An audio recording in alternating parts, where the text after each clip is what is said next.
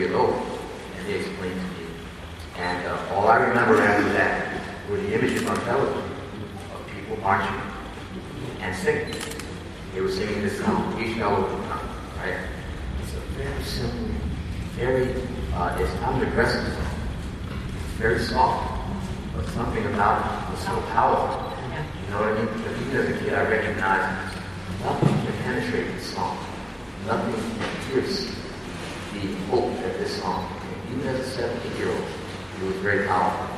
And I think I began to recognize the power of music then.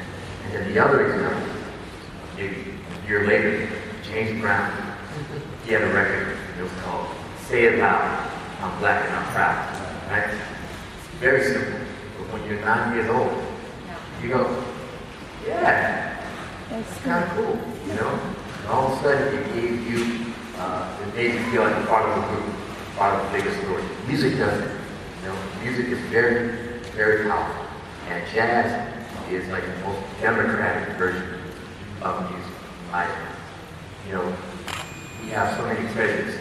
You know, if you're a woman, you know, maybe you can't play a certain thing. If you come from a certain country, maybe you can't play a certain thing. No matter what our prejudices are, and we all have them. If somebody comes onto the dance, their hand out, listen. Okay, what do you got?